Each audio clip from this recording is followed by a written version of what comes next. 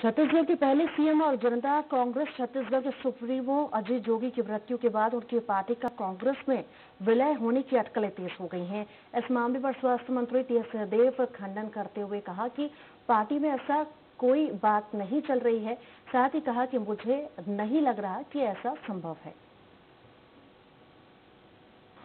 स्वर्गीय जोगी जी, जब ज़्यादा बीमार थे, उस समय भी ये सामने बात आई थी कि क्या विलय हो सकता है।